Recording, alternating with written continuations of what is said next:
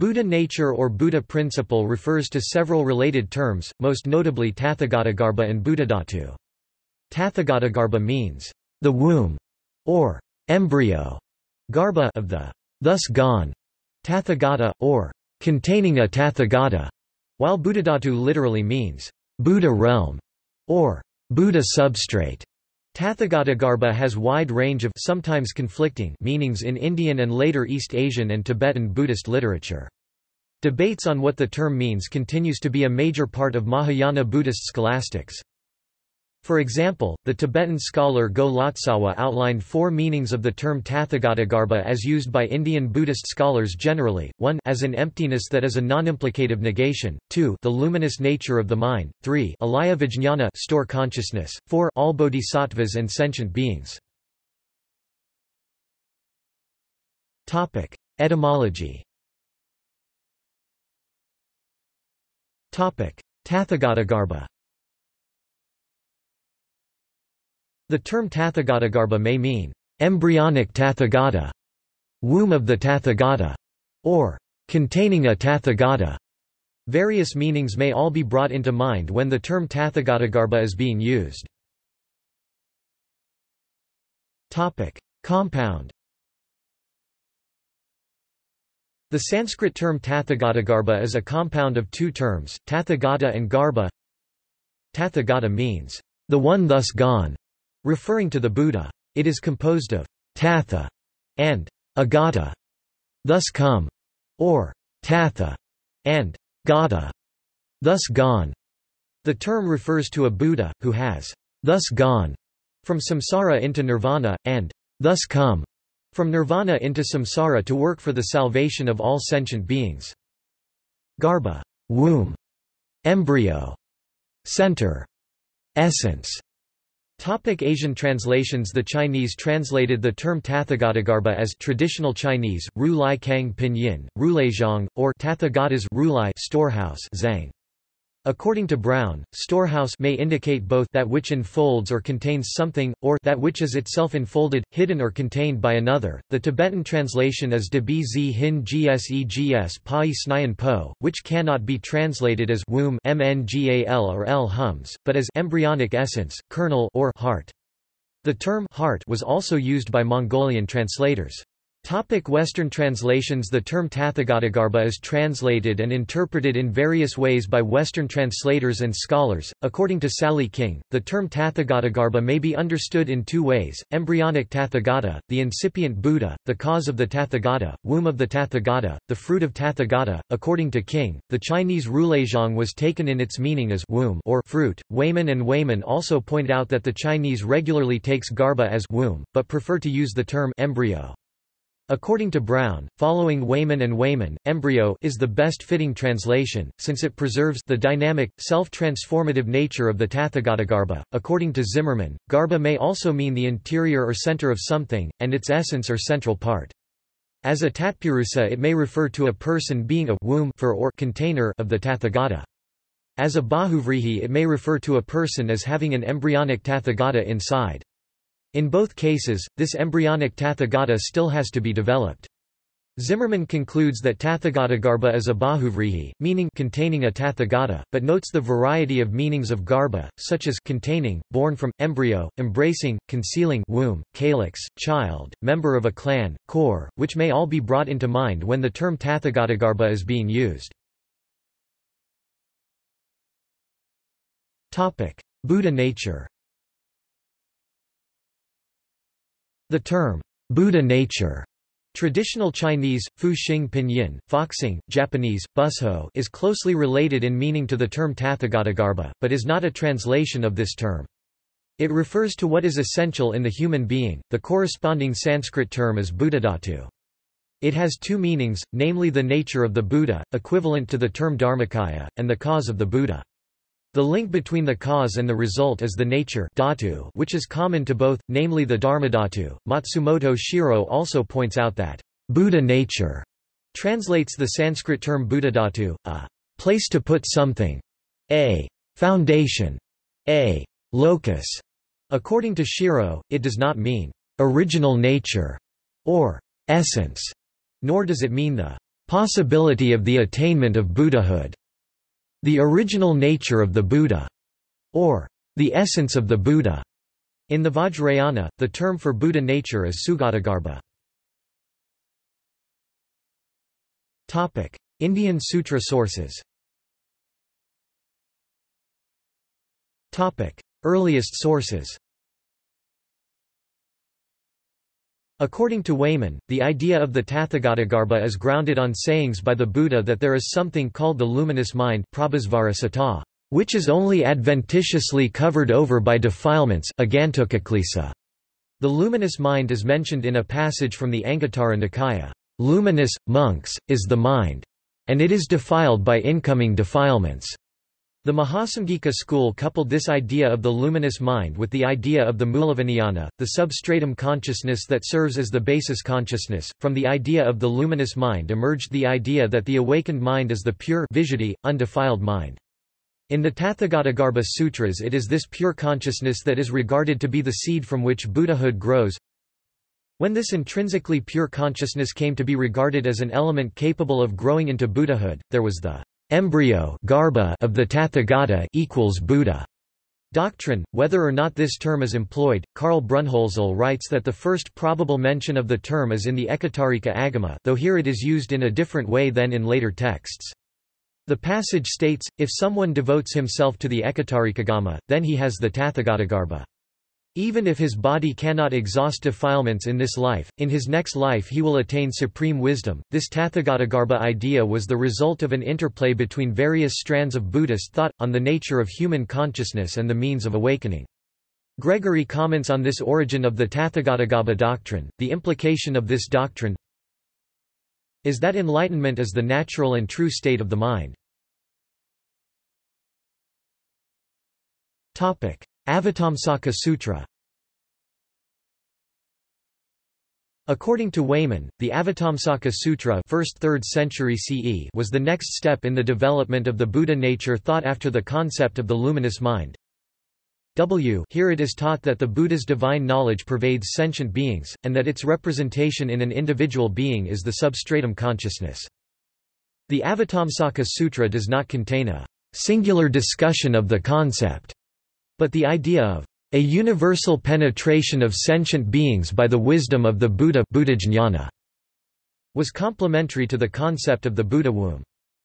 The basic idea of the Avatamsaka Sutra is the unity of the absolute and the relative. All in one, one in all. The all melts into a single whole.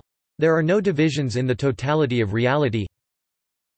It views the cosmos as holy, as one bright pearl, the universal reality of the Buddha. The universal Buddhahood of all reality is the religious message of the Avatamsaka Sutra. All levels of reality are related and interpenetrated. This is depicted in the image of Indra's net. This unity in totality allows every individual entity of the phenomenal world its uniqueness without attributing an inherent nature to anything. Saddharma Pundarika Sutra The Lotus Sutra SKT, Saddharma Pundarika Sutra, written between 100 BCE and 200 CE, does not mention Buddha nature, but shares other themes and ideas with the later Tathagatagarbha Sutras like the Tathagatagarbha Sutra and some scholars theorize that it was an influence on these texts. The tenth chapter emphasizes, in accordance with the bodhisattva ideal of the Mahayana teachings, that everyone can be liberated. All living beings can become a Buddha, not only monks and nuns, but also laypeople, sravakas, bodhisattvas, and non-human creatures. It also details that all living beings can be a teacher of the Dharma. The twelfth chapter of the Lotus Sutra details that the potential to become enlightened is universal among all people, even the historical Devadatta has the potential to become a Buddha. The story of Devadatta is followed by another story about a dragon princess who is both a Naga and a female, whom the bodhisattva Manjusri proclaims will reach enlightenment immediately, in her present form. Tathagatagarbha Sutras There are several major Indian texts which discuss the idea of Buddha nature and they are often termed the Tathagatagarbha Sutras. According to Brunnhölzl, The earliest Mahayana sutras that are based on and discuss the notion of Tathagatagarbha as the Buddha potential that is innate in all sentient beings began to appear in written form in the late 2nd and early 3rd century. Their ideas became very influential in East Asian Buddhism and Tibetan Buddhism. Mahayana sutras which mention this doctrine include the Tathagatagarbha Sutra, Anunatva Apurnatva Nirdesa, Srimaladevi Simhanada Sutra, Mahayana Mahaparinirvana Sutra, Angulimalaya Sutra and the Lankavatara Sutra. The Tathagatagarbha Sutra 200 CE is considered the earliest expression of this the Tathagatagarbha doctrine and the term Tathagatagarbha itself seems to have been coined in this very sutra. It states that one is already or primordially awakened and that all beings already have perfect Buddhahood within themselves but do not recognize it because it is covered over by afflictions. Another one of these texts, the Ghanavyuha Sutra, as quoted by Longchenpa, states that the Tathagatagarbha is the ground of all things. The ultimate universal ground also has always been with the Buddha essence and this essence in terms of the universal ground has been taught by the Tathagata. The fools who do not know it, because of their habits, see even the universal ground as having various happiness and suffering and actions and emotional defilements. Its nature is pure and immaculate, its qualities are as wishing jewels, there are neither changes nor cessations. Whoever realizes it attains liberation. Srimaladevi Simhanada Sutra The Srimaladevi Simhanada Sutra 3rd century CE, also named the Lion's Roar of Queen Srimala, centers on the teaching of the Tathagatagarbha as ultimate soteriological principle. Regarding the Tathagatagarbha, it states, Lord, the Tathagatagarbha is neither self nor sentient being, nor soul, nor personality.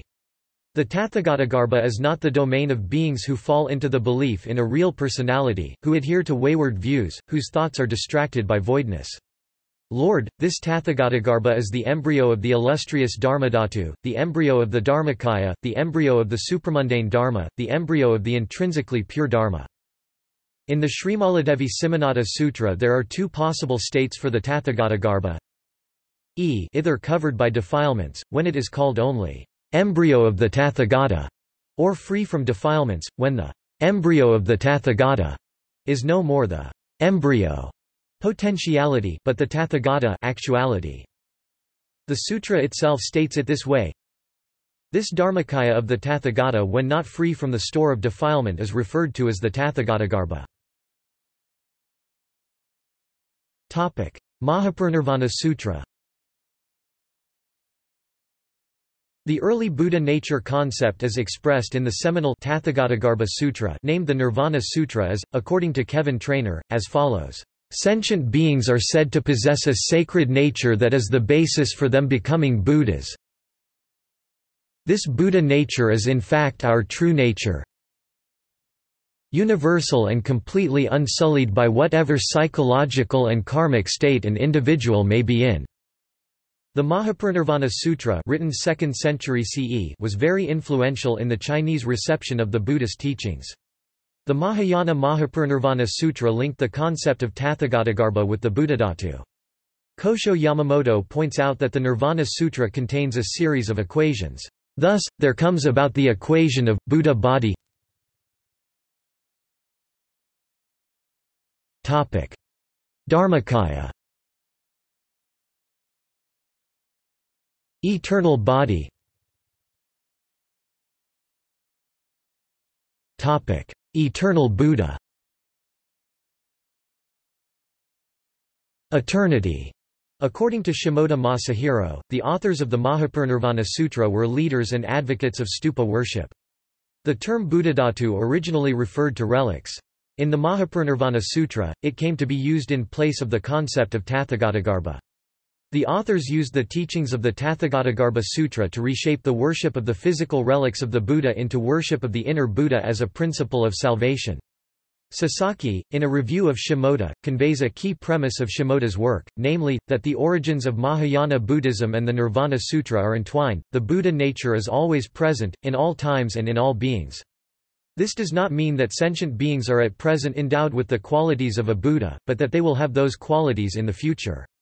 It is obscured from worldly vision by the screening effect of tenacious negative mental afflictions within each being.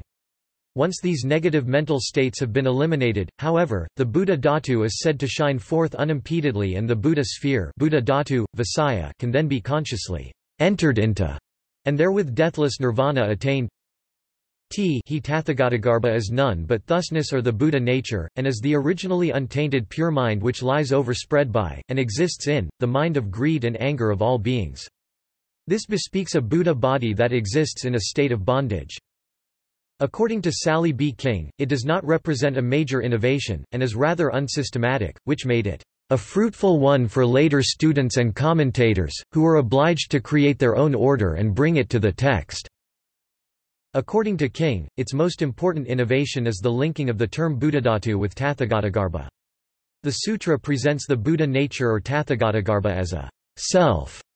The Mahaparinirvana Sutra refers to a true self. The Mahayana Mahaparinirvana Sutra, especially influential in East Asian Buddhist thought, goes so far as to speak of it as our true self Atman. Its precise metaphysical and ontological status is, however, open to interpretation in the terms of different Mahayana philosophical schools. For the Madhyamikas, it must be empty of its own existence like everything else. For the Yogacarans, following the Lankavatara, it can be identified with store consciousness, as the receptacle of the seeds of awakening. Paul Williams states, it is obvious that the Mahaparinirvana Sutra does not consider it impossible for a Buddhist to affirm an Atman provided it is clear what the correct understanding of this concept is, and indeed the sutra clearly sees certain advantages in doing so, but it speaks about Buddha nature in so many different ways, that Chinese scholars created a list of types of Buddha nature that could be found in the text. Paul Williams also notes, Nevertheless the sutra as it stands is quite clear that while we can speak of the Tathagatagarbha as self, actually it is not at all a self, and those who have such self-notions cannot perceive the Tathagatagarbha and thus become enlightened see Ruegg 1989a, 21-6. Lankavatara Sutra The Lankavatara Sutra compiled 350–400 CE synthesized the Tathagatagarbha doctrine and the Alaya Vijñana doctrine. The Lankavatara Sutra assimilates Tathagata Garbha thought to the Yogacara viewpoint, and this assimilation is further developed in the Treatise on the Awakening of Faith in the Mahayana. According to the Lankavatara Sutra Tathagatagarbha is identical to the Alaya Vijñana, known prior to awakening as the storehouse consciousness or eighth consciousness. The Alaya Vijñana is supposed to contain the pure seed, or Tathagatagarbha, from which awakening arises. The Lankavatara Sutra contains Tathagata Garbha thought, but also warns against reification of the idea of Buddha nature, and presents it as an aid to attaining awakening. Is not this Tathagata Garbha taught by the Blessed One the same as the ego substance taught by the philosophers? The ego as taught by the philosophers is an eternal creator, unqualified, omnipresent, and imperishable. The Blessed One replied, it is emptiness, reality limit, nirvana, being unborn, unqualified, and devoid of will effort, the reason why the Tathagatas teach the doctrine pointing to the Tathagata Garbha is to make the ignorant cast aside their fear when they listen to the teaching of egolessness and to have them realize the state of non-discrimination and imagelessness. According to Alex and Hideko Wayman, the equation of Tathagatagarbha and Alaya Vijñana in the Lankavatara fails. It is plain that when the Lankavatara Sutra identifies the two terms, this scripture necessarily diverges in the meaning of one or both of the terms from the usage of the term Tathagatagarbha in the earlier Sri Mala or of the term Alaya Vijñana in the subsequent Yogacara school. In Indian commentaries The Tathagatagarbha doctrine was also widely discussed by Indian Mahayana scholars in treatises or commentaries, called sastra, the most influential of which was the Ratnagotravibhaga 5th century CE. Ratnagotravibhaga or Uttaratantrasastra The Ratnagotravibhaga, also called Uttaratantrasastra 5th century CE, is an Indian sastra in which synthesized all the major elements and themes of the Tathagatagarbha theory. It gives an overview of authoritative Tathagatagarbha sutras, mentioning the Tathagatagarbha Sutra, the Srimaladevi Simhanada Sutra, Mahaparinirvana Sutra, the Angulimala Sutra, the Anunatva Apurnatva Nirdesa and the Mahabaraharika Sutra.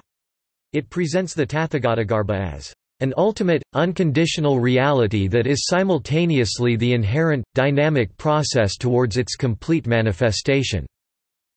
Mundane and enlightened reality are seen as complementary, Thusness defiled is the Tathagatagarbha, and thusness undefiled is enlightenment.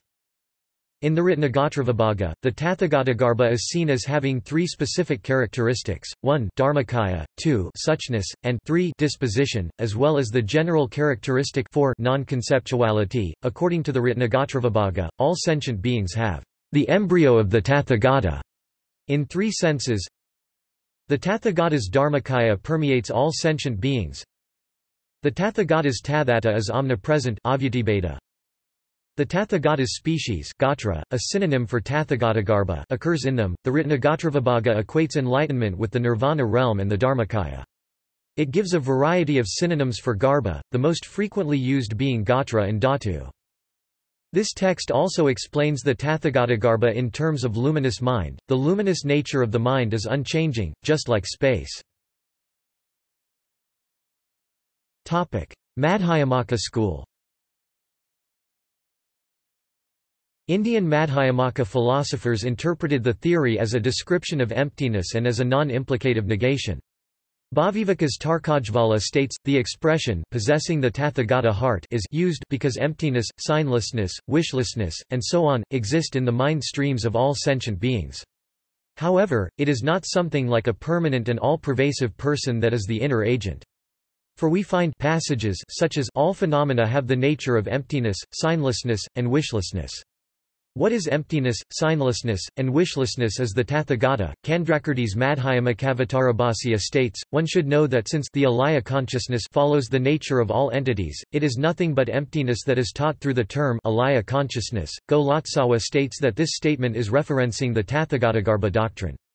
Candrakirti's Madhyamakavatarabhasya also argues, basing itself on the Lankavatara Sutra, that the statement of the emptiness of sentient beings being a Buddha adorned with all major and minor marks is of expedient meaning.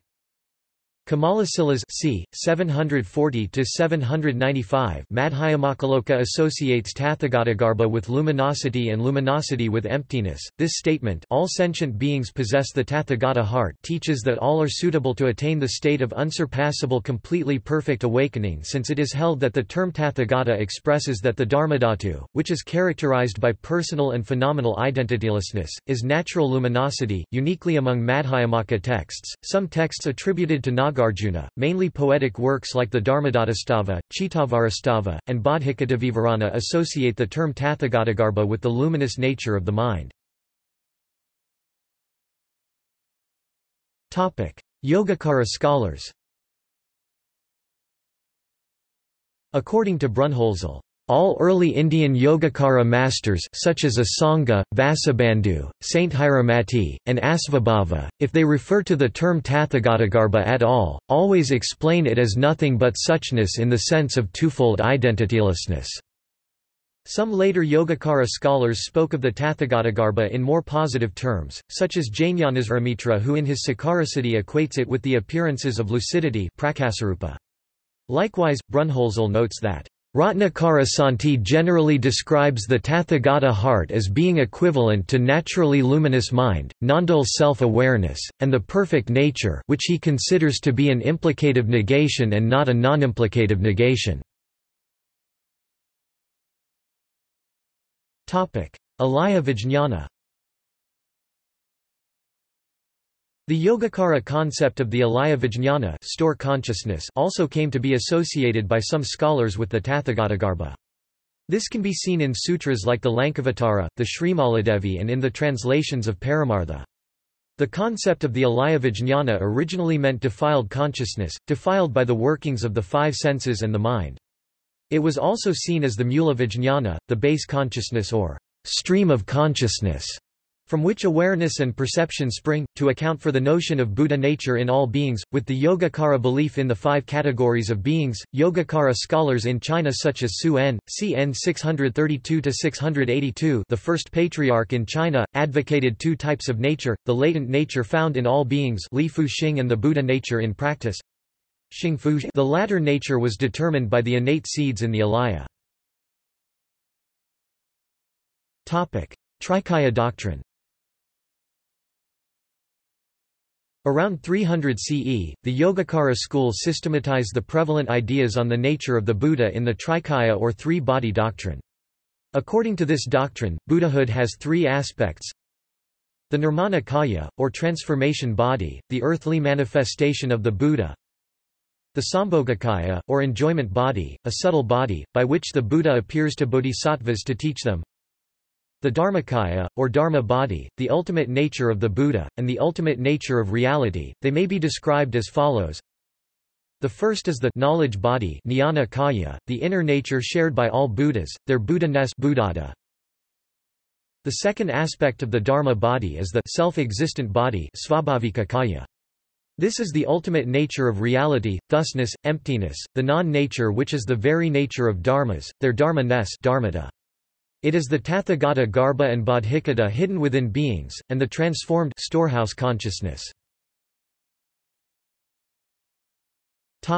In Chinese Buddhism The Tathagatagarbha idea was extremely influential in the development of East Asian Buddhism.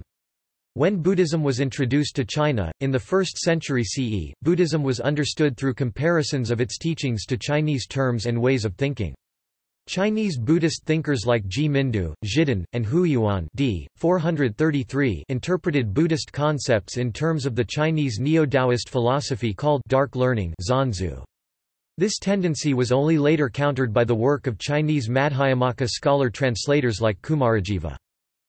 The Buddha nature idea was introduced into China with the translation of the Mahaparinirvana Sutra in the early 5th century and this text became the central source of Buddha nature doctrine in Chinese Buddhism. Based on their understanding of the Mahayana Mahaparinirvana Sutra some Chinese Buddhists supposed that the teaching of the Buddha nature was, as stated by that sutra, the final Buddhist teaching, and that there is an essential truth above sunyata and the two truths. This idea was interpreted as being similar to the ideas of Tao and principle Li in Chinese philosophy. The awakening of faith The awakening of faith was very influential in the development of Chinese Buddhism said to have been translated by Paramartha 499 569. While the text is traditionally attributed to Asvaghosa, no Sanskrit version of the text is extant. The earliest known versions are written in Chinese, and contemporary scholars believe that the text is a Chinese composition. The awakening of faith in the Mahayana offers a synthesis of Chinese Buddhist thinking. It sees the Buddha nature doctrine as a cosmological theory, in contrast to the Indo-Tibetan tradition, where the soteriological aspect is emphasized. It described the one mind, which includes in itself all states of being of the phenomenal and transcendental world. It tried to harmonize the ideas of the Tathagatagarbha and Alaya Vijñana. In the words of the Awakening of Faith, which summarizes the essentials of Mahayana, self and world, mind and suchness, are integrally one. Everything is a carrier of that a priori enlightenment, all incipient enlightenment is predicated on it. The mystery of existence is, then, not how may we overcome alienation? The challenge is, rather, why do we think we are lost in the first place? In the awakening of faith the one mind has two aspects, namely tathata, suchness, the things as they are, and samsara, the cycle of birth and death. This text was in line with an essay by Emperor Wu of the Liang dynasty reign 502–549 CE, in which he postulated a pure essence, the enlightened mind, trapped in darkness, which is ignorance. By this ignorance the pure mind is trapped in samsara. This resembles the Tathagatagarbha and the idea of the defilement of the luminous mind. In a commentary on this essay Shen Yu stated that insight into this true essence is awakened by stopping the thoughts, a point of view which is also being found in the Platform Sutra of Huineng. The joining together of these different ideas supported the notion of the Ekayana, the one vehicle, absolute oneness, all-pervading Buddha wisdom and original enlightenment as a holistic whole. This synthesis was a reflection of the unity which was attained in China with the united Song dynasty. In Chinese Yogacara and Madhyamaka By the 6th century CE Buddha nature had been well established in Chinese Buddhism and a wide variety of theories developed to explain it.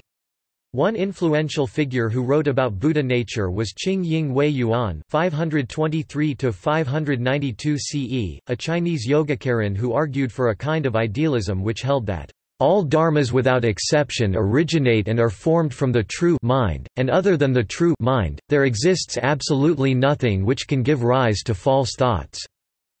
Jingying Huiyuan equated this true mind with the Alaya Vijñana, the Tathagatagarbha and Buddha nature Foxing and held that it was an essence, a true consciousness and a metaphysical principle that ensured that all sentient beings will reach enlightenment. According to Ming Wood Liu, Wei Yuan's interpretation of the Buddha nature doctrine represents the culmination of a long process of transformation of the Buddha nature, from a basically practical to an ontological concept. The Chinese Yogacara school was also split on the relationship between the Tathagatagarbha and Alayavijñana. Fashang 495 representing the southern Yogacara, asserted that they were separate, that the alaya was illusory and impure while Buddha nature was the ultimate source of all phenomenal reality. In the northern school meanwhile, it was held that the alaya and Buddha nature were the same pure support for all phenomena. In the 6th and 7th centuries, the Yogacara theory became associated with a substantialist non-dual metaphysics which saw Buddha nature as an eternalistic ground. This idea was promoted by figures like Fazang and Ratnamati. In contrast with the Chinese Yogacara view, the Chinese Madhyamaka scholar Jizang (549–623 CE) sought to remove all ontological connotations of the term as a metaphysical reality and saw Buddha nature as being synonymous with terms like tathata, dharmadhatu, ekayana, wisdom, ultimate reality. Quote, quote, middle way and also the wisdom that contemplates dependent origination. In formulating his view, Jizang was influenced by the earlier Chinese Madhyamaka thinker Sengzhao (384–414 CE), who was a key figure in outlining an understanding of emptiness which was based on the Indian sources and not on Taoist concepts which previous Chinese Buddhists had used. Jizang used the compound middle way Buddha nature to refer to his view. Jizang was also one of the first Chinese philosophers to famously argue that plants and insentient objects have Buddha nature, which he also termed true reality and universal principle Tao. .In the 20th century, the influential Chinese master Yin Shun drew on Chinese Madhyamaka to argue against any Yogacara-influenced view that Buddha nature was an underlying permanent ground of reality and instead supported the view that Buddha nature teachings are just an expedient means. Yin Shun, drawing on his study of Indian Madhyamaka promoted the emptiness of all things as the ultimate Buddhist truth, and argued that the Buddha nature teaching was a provisional teaching taught in order to ease the fear of some Buddhists regarding emptiness as well as to attract those people who have an affinity to the idea of a self or Brahman. Later after taking up the Buddhist path, they would be introduced to the truth of emptiness. In Tiantai In the Tiantai school, the primary figure is the scholar Zhiyi. According to Paul L. Swanson, none of Zhiyi's works discuss Buddha nature explicitly at length however. Yet it is still an important concept in his philosophy, which is seen as synonymous with the Ekayana principle outlined in the Lotus Sutra. Swanson argues that for Zhiyi, Buddha nature is, an active threefold process which involves the way reality is, the wisdom to see reality as it is, and the practice required to attain this wisdom. Buddha nature is threefold, the three aspects of reality, wisdom, and practice are interdependent one aspect does not make any sense without the others. Buddha nature for Zhiyi therefore has three aspects which he bases on passages from the Lotus Sutra and the Nirvana Sutra, the direct cause of attaining Buddhahood, the innate potential in all sentient beings to become Buddhas, which is the aspect of true nature, the way things are. The complete cause of attaining Buddhahood, which is the aspect of wisdom that illuminates the true nature and the goal of practice. The conditional causes of attaining Buddhahood, which is the aspect of the practices and activities that lead to Buddhahood. The later Tiantai scholar Zhanran would expand the Tiantai view of Buddha nature, which he saw as synonymous with suchness, to argue for the idea that insentient rocks and plants also have Buddha nature. In Chan Buddhism In Chan Buddhism, Buddha nature tends to be seen as the non-substantial essential nature of all beings. But the Zen tradition also emphasizes that Buddha nature is sunyata, the absence of an independent and substantial self. Chan masters from Huineng in 7th century China to Hakuin Ekaku in 18th century Japan to Xu Yun in 20th century China, have all taught that the process of awakening begins with the light of the mind turning around within the eighth consciousness, so that the Alayavijñana, also known as the Tathagatagarbha, is transformed into the bright mirror wisdom. The Lankavatara Sutra presents the Chan, Zen Buddhist view of the Tathagatagarbha. The Buddha said, Now, Mahamati, what is perfect knowledge? It is realized when one casts aside the discriminating notions of form, name, reality, and character, it is the inner realization by noble wisdom. This perfect knowledge, Mahamati, is the essence of the Tathagata Garbha. When this active transformation is complete, the other seven consciousnesses are also transformed. The seventh consciousness of delusive discrimination becomes transformed into the equality wisdom.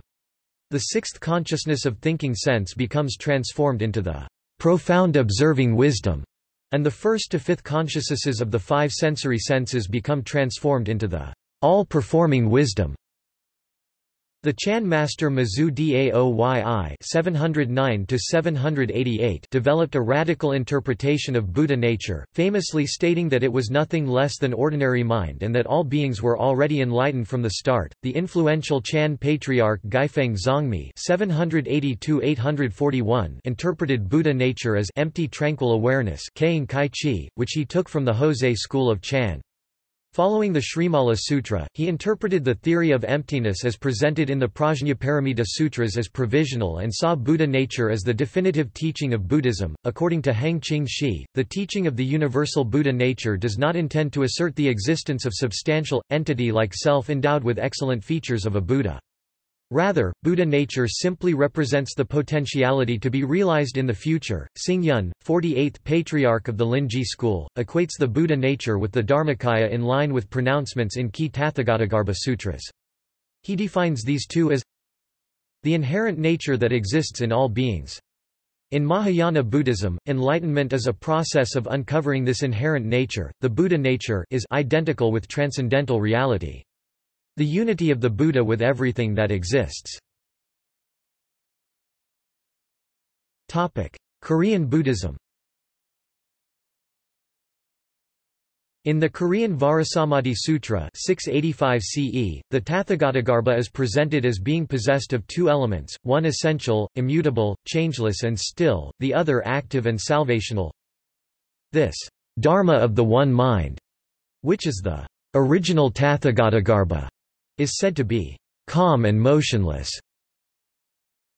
The Vajrasamadhi's analysis of Tathagatagarbha also recalls a distinction the awakening of faith makes between the calm, unchanging essence of the mind and its active, adaptable function. The Tathagatagarbha is equated with the original edge of reality that is beyond all distinctions, the equivalent of original enlightenment, or the essence. But Tathagatagarbha is also the active functioning of that original enlightenment the inspirational power of that fundamental faculty. The Tathagatagarbha is thus both the original edge of reality that is beyond cultivation equals essence as well as the specific types of wisdom and mystical talents that are the byproducts of enlightenment equals function. Topic: Japanese Buddhism. Topic: Nichiren Buddhism Nichiren (1222–1282) was a Buddhist monk who taught devotion to the Lotus Sutra as the exclusive means to attain enlightenment, and the chanting of Namu Myoho Renge Kyo as the essential practice of the teaching. Nichiren Buddhism includes various schools with diverging interpretations of Nichiren's teachings. Nichiren Buddhism views the Buddha nature as the inner potential for attaining Buddhahood, common to all people. Based on the Lotus Sutra, Nichiren maintained that all living being possess the Buddha nature, being the inherent potential to attain Buddhahood. The Buddha nature refers to the potential for attaining Buddhahood, a state of awakening filled with compassion and wisdom. The emphasis in Nichiren Buddhism is on revealing the Buddha nature, or attaining Buddhahood, in this lifetime through chanting the name of the Dharma of the Lotus Sutra. T the Buddha nature within us is summoned forth and manifested by our chanting of Nam Myoho Renge Kyo. The potential for Buddhahood exists in the whole spectrum of the ten worlds of life, and this means that all people, including evil doers, have Buddha nature, which remains as a dormant possibility or a theoretical potential in the field of emptiness or non-substantiality until it is materialized in reality through Buddhist practice. In his letter, Opening the Eyes of Wooden and Painted Images, Nichiren explains that insentient matter such as trees, mandalas, images, statues also possess the Buddha nature, because they serve as objects of worship. This view regards the Buddha nature as the original nature of all manifestations of life, sentient and insentient, through their interconnectedness. This concept of the enlightenment of plants in turn derives from the doctrine of 3,000 realms in a single moment of life, which teaches that all life—insentient and sentient—possesses the Buddha nature. Zen Buddhism The founder of the Soto school of Zen Buddhism, Dogen Zenji, held that Buddha nature was simply the true nature of reality and being. This true nature was just impermanence, becoming and vast emptiness. Because he saw the whole universe as an expression of Buddha nature, he held that even grass and trees are Buddha nature. Therefore, the very impermanency of grass and tree, thicket and forest is the Buddha nature. The very impermanency of men and things, body and mind, is the Buddha nature. Nature and lands, mountains and rivers, are impermanent because they are the Buddha nature. Supreme and complete enlightenment, because it is impermanent, is the Buddha nature. The founder of Sanbo Kyodan lineage of Zen Buddhism, Yasutani Hakuun Roshi, also defined Buddha nature in terms of the emptiness and impermanence of all dharmas. Everything by its very nature is subject to the process of infinite transformation, this is its Buddha or Dharma nature. What is the substance of this Buddha or Dharma nature? In Buddhism it is called ku shunyata. Now, ku is not mere emptiness. It is that which is living, dynamic, devoid of mass, unfixed, beyond individuality or personality the matrix of all phenomena. A famous reference to Buddha nature in the Zen tradition is the Mu Koan. A monk asked Zhaozhou Congshen, a Chinese Zen master known as Joshu in Japanese, "'Has a dog Buddha nature or not?' Zhaozhou answered, "'It does not' Wu Chinese, Mu in Japanese Shin Buddhism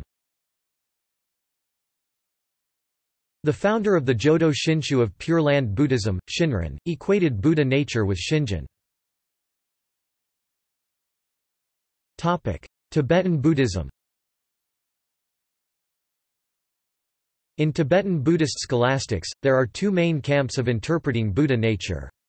There are those who argue that Tathagatagarbha is just emptiness described either as dharmadhatu, the nature of phenomena, or a non-implicative negation and there are those who see it as the union of the mind's emptiness and luminosity which includes the Buddha qualities.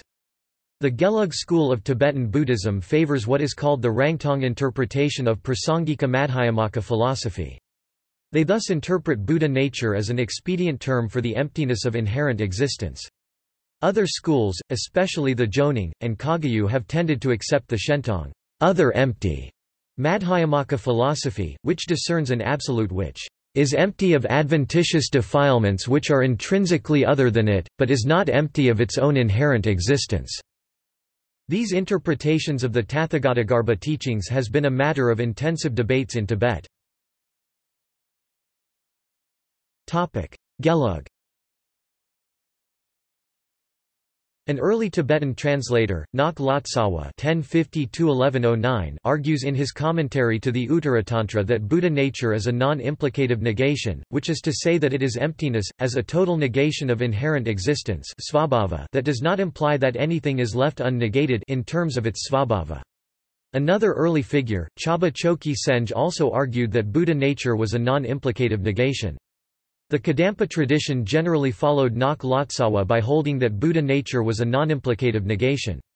The Gelug school, which sees itself as a continuation of the Kadampas, also hold this view, while also holding, as Chaba did, that Buddha nature teachings are of expedient meaning. Kedrub J. Gelug Balsang (1385–1438), one of the main disciples of Tsongkhapa, defined the Tathagatagarbha thus: "It is the emptiness of mind's being empty of being really established that is called the naturally pure true nature of the mind." The naturally pure true nature of the mind in its phase of not being free from adventitious stains is called sugata heart or naturally abiding disposition. Brunnhölzl states that the view of Gyaltsab Dharma Rinchen (1364–1432) is that the Tathagata heart is the state of a being in whom mind's emptiness is obscured, while Buddhas by definition do not possess this Tathagata heart. The 14th Dalai Lama sees the Buddha nature as the original clear light of mind, but points out that it ultimately does not exist independently, because, like all other phenomena, it is of the nature of emptiness, once one pronounces the words, emptiness and absolute, one has the impression of speaking of the same thing, in fact of the absolute. If emptiness must be explained through the use of just one of these two terms, there will be confusion. I must say this, otherwise you might think that the innate original clear light as absolute truth really exists. Sakya Sakya Pandita (1182–1251) sees the Buddha nature as the Dharmadhatu free from all reference points, and states that the teaching that Buddha nature exists in all beings is of expedient meaning and that its basis is emptiness, citing Candrakirti's Madhyamakavatarabhasya. The Sakya scholar Rongten meanwhile, argued that Buddha nature is suchness, with stains, or emptiness of the mind with stains. Sakya scholar Butön Rinchen Drub (1290–1364), like the Gelugpas, held that the Buddha nature teachings were of expedient meaning and that that the naturally abiding disposition is nothing but emptiness. However, unlike them, his view was that the basis for these teachings is the Alayavijñana and also that Buddha nature is the Dharmakaya of a Buddha, but never exists in the great mass of sentient beings.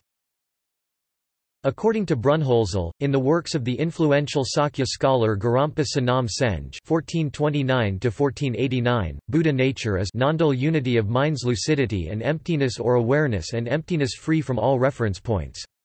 It is not mere emptiness because sheer emptiness cannot be the basis of both samsara and nirvana. However, it is not mere lucidity either because this lucidity is a conditioned entity and the Tathagata heart is unconditioned. Sakya Chokden meanwhile argues that the ultimate Buddha nature is mind's natural luminosity free from all extremes of reference points, which is the sphere of personally experienced wisdom and an implicative negation. Jonang The Jonang school, whose foremost historical figure was the Tibetan scholar monk Dolpopa Sherab Gyaltsen (1292–1361), sees the Buddha nature as the very ground of the Buddha himself, as the permanent indwelling of the Buddha in the basal state. According to Brunnhölzl, Dolpopa, basing himself on certain Tathagatagarbha sutras, argued that the Buddha nature is ultimately really established, everlasting, eternal, permanent, immutable and being beyond dependent origination. This is the foundation of what is called the Shentong view. Moreover, the Buddhist tantric scripture entitled Chanting the Names of Manjusri, Manjusri Nama Sangiti, repeatedly exalts, as portrayed by Dolpopa, not the non-self but the self, and applies the following terms to this ultimate reality, the Buddha self, the beginningless self, the solid self, the diamond self. These terms are applied in a manner which reflects the cataphatic approach to Buddhism, typical of much of Dolpopa's writings. Dr. Cyrus Stearns writes that Dolpopa's attitude to the third turning of the wheel doctrines i.e. the Buddha nature teachings is that they are the final definitive statements on the nature of ultimate reality, the primordial ground or substratum beyond the chain of dependent origination, and which is only empty of other, relative phenomena. Nyingma In the Nyingma school doctrines on Buddha nature are generally marked by the tendency to align the idea with Dzogchen views as well as with Prasangika Madhyamaka, beginning with the work of (1042–1136) and continuing into the work of Longchenpa (1308–1364) and Mipham (1846–1912). Mipham Rinpoche, the most authoritative figure in modern Nyingma, adopted a view of Buddha nature as the unity of appearance and emptiness, relating it to the descriptions of the ground in Dzogchen as outlined by Longchenpa. This ground is said to be primordially pure and spontaneously present. Germano writes that Dzogchen represents the most sophisticated interpretation of the so-called Buddha nature tradition within the context of Indo-Tibetan thought. The 19th, 20th century Nyingma scholar, Shechen Gyaltsap Gyurme Pema Namgyal, sees the Buddha nature as ultimate truth, nirvana, which is constituted of profundity, primordial peace and radiance. Buddha nature is immaculate. It is profound, serene, unfabricated suchness, an uncompounded expanse of luminosity, non-arising, unceasing, primordial peace, spontaneously present nirvana. Tulku Urgyen Rinpoche sees an identity between the Buddha nature, Dharmadhatu essence of all phenomena and the noumenon and the three Vajras, saying, Dharmadhatu is adorned with Dharmakaya, which is endowed with Dharmadhatu wisdom. This is a brief but very profound statement, because Dharmadhatu also refers to Sugata Garbha or Buddha nature. Buddha nature is all-encompassing. This Buddha nature is present just as the shining sun is present in the sky. It is indivisible from the three vajras i.e. the Buddha's body, speech and mind of the awakened state, which do not perish or change.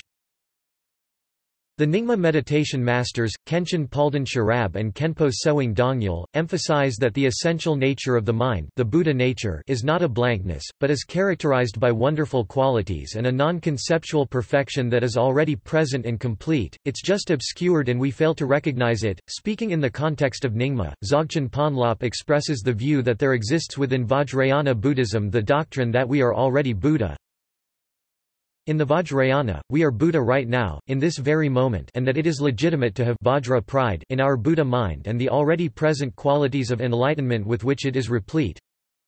Vajra pride refers to our pride and confidence in the absolute nature of our mind as Buddha, primordially, originally pure, awake and full of the qualities of enlightenment. Kagyu According to Brunnhölzl, virtually all Kagyu masters hold the teaching on Buddha nature to be of definitive meaning and deny that the Tathagata heart is just sheer emptiness or a non-implicative negation. Though the Kagyu approach has certain similarities with Dolpopa's view, it is generally less absolute than the latter's and shows several significant differences, such as not claiming that the Buddha qualities exist in their full-blown form even in confused sentient beings and not making such an absolute distinction between the two realities as Dolpopa does the exception is Jamgon Kongtrul Lodro Te, who largely follows Taranatha and Dolpopa but at times blends their positions with the third Karmapa's view. In Kagyu the view of the third Karmapa is generally seen as the most authoritative. This is the view that Buddha nature is mind's luminous ultimate nature or non-dual wisdom, which is the basis of everything in samsara and nirvana. Thrangu Rinpoche sees the Buddha nature as the indivisible oneness of wisdom and emptiness. The union of wisdom and emptiness is the essence of Buddhahood or what is called Buddha nature SKT. Tathagata Garbha because it contains the very seed, the potential of Buddhahood. It resides in each and every being and because of this essential nature, this heart nature, there is the possibility of reaching Buddhahood. The Rimé movement The Rimé movement is an ecumenical movement in Tibet which started as an attempt to reconcile the various Tibetan schools in the 19th century. In contrast to the Gelugpa, which adheres to the Rang Stong self-empty or Prasangika point of view, the Rimé movement supports Shen Tong other empty, an essential nature which is pure radiant non-dual consciousness. Jamgon Kongtrul says about the two systems, Madhyamika philosophies have no differences in realizing as shunyata, all phenomena that we experience on a relative level. They have no differences also, in reaching the meditative state where all extremes ideas completely dissolve. Their difference lies in the words they use to describe the Dharmata. Shentong describes the Dharmata, the mind of Buddha, as ultimately real, while Rangtong philosophers fear that if it is described that way, people might understand it as the concept of soul or atma. The Shentong philosopher believes that there is a more serious possibility of misunderstanding in describing the enlightened state as unreal and void. Kongtrul finds the Rangtong way of presentation the best to dissolve concepts and the Shentong way the best to describe the experience. Modern scholarship Modern scholarship points to the various possible interpretations of Buddha nature as either an essential self, as sunyata, or as the inherent possibility of awakening. Essential self Shenpen Hookham, Oxford Buddhist scholar and Tibetan Lama of the Shentong tradition writes of the Buddha nature or true self as something real and permanent, and already present within the being as uncompounded enlightenment. She calls it the Buddha within, and comments, in scriptural terms, there can be no real objection to referring to Buddha, Buddhajnana Buddha awareness, Buddha knowledge, nirvana and so forth as the true self, unless the concept of Buddha and so forth being propounded can be shown to be impermanent, suffering, compounded, or imperfect in some way, in Shentong terms, the non-self is about what is not the case, and the self of the third Dharmachakra i.e. the Buddha nature doctrine is about what truly is. Buddhist scholar and chronicler, Merv Fowler, writes that the Buddha nature really is present as an essence within each being. Fowler comments, the teaching that Buddha nature is the hidden essence within all sentient beings is the main message of the Tathagatagarbha literature, the earliest of which is the Tathagatagarbha Sutra. This short sutra says that all living beings are in essence identical to the Buddha regardless of their defilements or their continuing transmigration from life to life. As in the earlier traditions, there is present the idea that enlightenment, or nirvana, is not something which has to be achieved, it is something which is already there. In a way, it means that everyone is really a Buddha now. Sunyata According to Heng Ching Shih, the Tathagatagarbha, Buddha nature does not represent a substantial self Atman. Rather, it is a positive language expression of emptiness sunyata, which emphasizes the potentiality to realize Buddhahood through Buddhist practices. The intention of the teaching of Tathagatagarbha, Buddha nature is soteriological rather than theoretical. Paul Williams puts forward the Madhyamaka interpretation of the Buddha nature as emptiness in the following terms if one is a madhyamika then that which enables sentient beings to become Buddhas must be the very factor that enables the minds of sentient beings to change into the minds of Buddhas. That which enables things to change is their simple absence of inherent existence, their emptiness. Thus the Tathagatagarbha becomes emptiness itself, but specifically emptiness when applied to the mental continuum. Critical Buddhist interpretation Several contemporary Japanese Buddhist scholars, headed under the label Critical Buddhism Bukkyo, Pai, Fojiao have been critical of Buddha nature thought. According to Matsumoto Shiro and Hakamaya Noriaki of Komazawa University, essentialist conceptions of Buddha nature are at odds with the fundamental Buddhist doctrine of dependent origination and non-self the Buddha nature doctrines which they label as dhatuvada substantialism, sometimes rendered locus theory or topicalism and generative monism is not Buddhism at all. As defined by Matsumoto, this locus Theory or Dhatuvada which he rejects as un-Buddhist is, it is the theory that the single eka, sama existent locus dhatu or basis is the cause that produces the manifold phenomena or super loci dharma. Matsumoto further argues that, Tathagatagarbha thought was a Buddhist version of Hindu monism, formed by the influence of Hinduism gradually introduced into Buddhism, especially after the rise of Mahayana Buddhism. Other Japanese scholars responded to this view leading to a lively debate in Japan.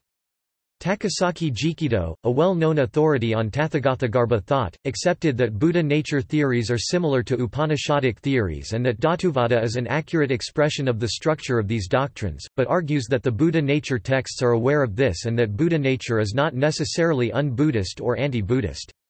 Likewise, Hirakawa Akira, sees Buddha nature as the potential to attain Buddhahood which not static but ever-changing and argues that dhatu does not necessarily mean substratum he points to some agamas which identify dhatu with pratitya samutpada. Western scholars have reacted in different ways to this idea. Sally B. King objects to their view, seeing the Buddha nature as a metaphor for the potential in all beings to attain Buddhahood, rather than as an ontological reality. Robert H. Sharf notes that the worries of the critical Buddhists is nothing new, for the early Tathagatagarbha scriptures betray a similar anxiety, as they tacitly acknowledge that the doctrine is close to, if not identical with, the heretical Atmavada teachings of the non-Buddhists. He also notes how the Nirvana Sutra tacitly concedes the non-Buddhist roots of the Tathagatagarbha idea. Sharf also has pointed out how certain Southern Chan masters were concerned with other interpretations of Buddha nature, showing how the tendency to critique certain views of Buddha nature is not new in East Asian Buddhism. Peter N. Gregory has also argued that at least some East Asian interpretations of Buddha nature are equivalent to what critical Buddhists call Dhatuvada, especially the work of Zongmi, who emphasizes the underlying ontological ground on which all phenomenal appearances are based, which he variously refers to as the nature the one mind According to Dan Lusthaus, certain Chinese Buddhist ideologies which became dominant in the 8th century promoted the idea of an underlying metaphysical substratum, or underlying, invariant, universal metaphysical source and thus do seem to be a kind of Dhatuvada. According to Lusthaus, in early Tang China 7th–8th century there was a deliberate attempt to divorce Chinese Buddhism from developments in India. Lusthaus notes that the Huayan thinker Fazang was influential in this theological trend who promoted the idea that true Buddhism was about comprehending the one mind that alone is the ground of reality. Wei Xin, Paul Williams too has criticized this view, saying that critical Buddhism is too narrow in its definition of what constitutes Buddhism.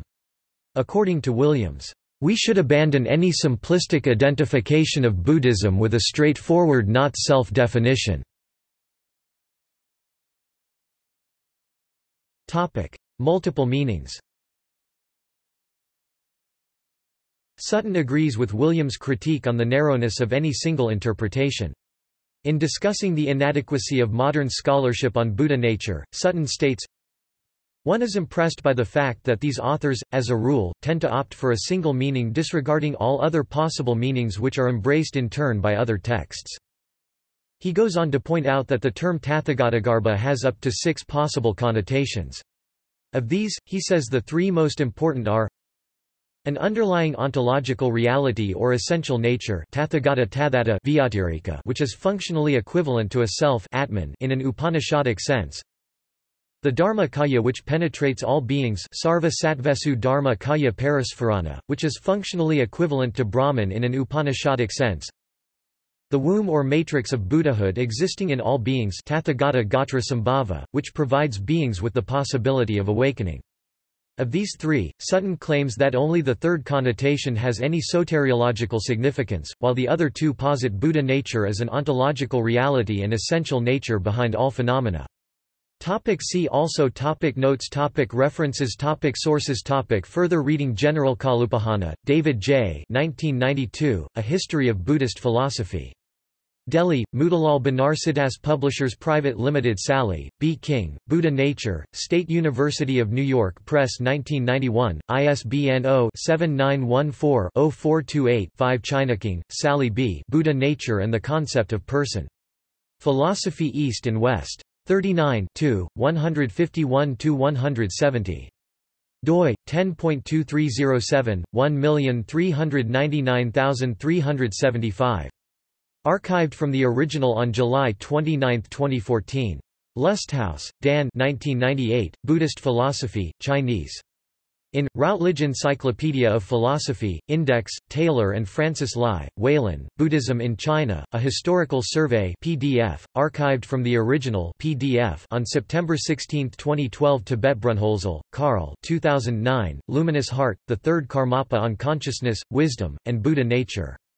Snow Lion Publications. ISBN 978-1-55939-318-8 Hookham, S.K. 1991, The Buddha Within, Tathagatagarbha Doctrine according to the Shentong interpretation of the Ratnagotravibhaga, SUNY Press Japan Harada, Sekkei 2008, The Essence of Zen. The Teachings of Sekkei Harada, Wisdom Publications Critical Buddhism Hubbard, Jamie, Paul, Paul L., 1997, Pruning the Bodhi Tree, The Storm Over Critical Buddhism, University of Hawaii Press Topic External links Thich Hang Dat, The Interpretation of Buddha Nature in Chan Tradition on the Buddha Nature of Insentient Things, Robert H. Sharf Nirvana Sutra, full text of Nirvana Sutra, plus appreciation of its teachings, and Nirvana Sutra 2, 6 megabytes The Lankavatara Sutra A Mahayana text Hodge, Stephen 2009 and 2012.